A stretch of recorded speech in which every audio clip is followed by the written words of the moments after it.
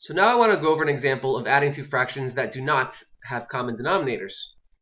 And remember what I wrote for you in green.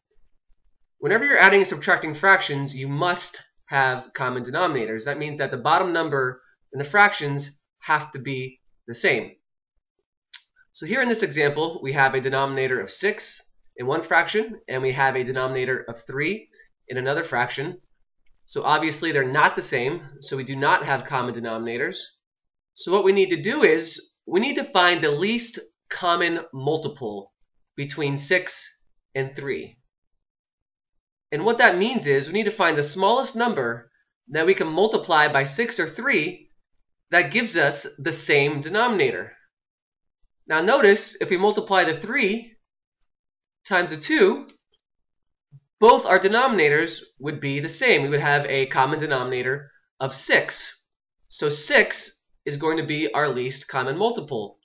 And whatever you do to the bottom of a fraction, you have to do to the top of a fraction. So since we multiplied the bottom of this fraction by 2, we got to multiply the top of this fraction by 2 as well. So now we can rewrite both these fractions. Our 1 6 stays the same. And then in our numerator of our second fraction, we have 2 times 2, which gives us a 4. And in our denominator, we have a 3 times a 2, which gives us a 6. So now that we have common denominators of 6, we can add these fractions quite easily. Our denominator stays the same, so we have a 6 in our denominator. And then our numerator, we add the two numbers, so we add 1 plus 4. And that gives us a final answer of 5 over 6. So now I want to go over one more adding and subtracting fractions example that do not have common denominators. So here we have 1 half minus 1 third. Notice in the first fraction we have a denominator of 2, and in the second fraction we have a denominator of 3. And in order to subtract these fractions together, we need to have a common denominator. The bottom number needs to be the same. So our common denominator is going to be the least common multiple between 2 and 3. Now notice there is no whole number that we can multiply by 2 to give us 3, because 1 times 2 is 2, and 2 times 2 is 4. So there's nothing that we can multiply by these denominators to give us a common denominator of 2 and 3. So whenever this happens, what I like to do is I like to multiply by the other number. So since this fraction has a denominator of 2, but doesn't have a 3, I'm going to multiply this by a 3. And whatever you do to the bottom, you have to do to the top. And since this fraction has a denominator of 3, but does not have a 2, I'm going to multiply this fraction by 2.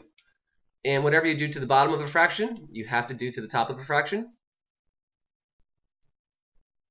Now notice in the first fraction, we're going to have a denominator of 3 times 2, which is 6. And in our second fraction, we also have a denominator of 3 times 2, which is 6. So now we're going to have a common denominator of 6. So let's just rewrite these fractions. Our first fraction, in our numerator, we have 3 times 1, which is just 3. And in our denominator, we have 3 times 2, which is 6. Minus our second fraction. In our numerator, we have 1 times 2, which is just 2. And in our denominator, we have 3 times 2, which is 6. So now that we have a common denominator of 6, the bottom numbers are both the same. We can subtract these fractions quite easily. Our denominator always stays the same, so we have a denominator of 6. And in our numerator, we're just going to subtract the 3 and the 2. 3 minus 2 is 1 over 6 and this is our final answer. So here are some more videos with some more example problems related to the video you just watched. I really hope you're finding my tutorials helpful. So until my next video, I will see you later.